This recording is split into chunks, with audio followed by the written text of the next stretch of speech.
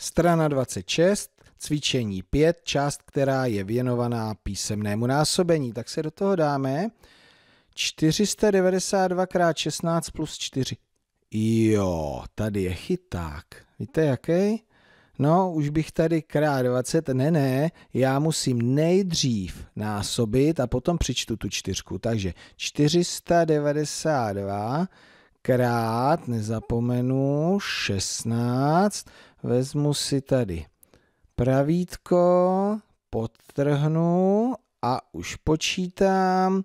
6 x 2 je 12, jedničku přičtu později, 6 x 9 54 a 1 je 55, pětku přičtu později, 6 x 4 24 plus 5 29, devítku, dvojku a teďka pěkně pod desítky, jednou krát dvě, dvě, jednou krát devět, devět, jednou krát čtyři, čtyři, pravítko. Znovu a sčítám. Dvě, sedm, osmnáct, pět, sedm. Tak a v příkladu je ještě tady ta část, 7872 plus 4 rovná se 7876.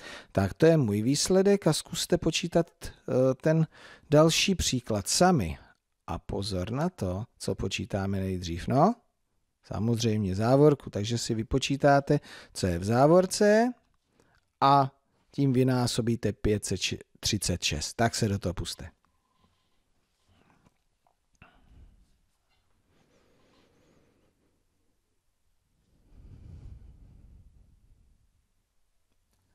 A jdeme si to zkontrolovat, takže vy jste počítali tady v závorce, to bylo 16, jo, takže váš příklad je 536 krát 16, taky 16.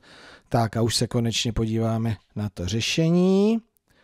Na to řešení já to mám, ta výsledek je tady, tady jsem zapomněl podtrhnout a váš výsledek je 9648, jo, je to tak? Bezva. Tak, další dva příklady. A pozor na to. Tady a tady. To byla moje nápověda a víc vám nenapovím. Počítejte.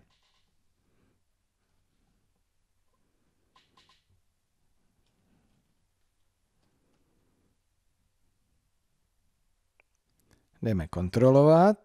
Takže využili jste nápovědy, závorka 99, takže tady jste počítali 812 krát 99 a tady jste nejdříve vypočítali 5009 krát 92 a až když jste to měli vypočítáno, tak jste odečetli 16. Tak, výsledky. 80 388 a 460 812. Tak to jsme si trošičku prošli písemné násobení a v následujícím eh, videu si připomeneme písemné sčítání.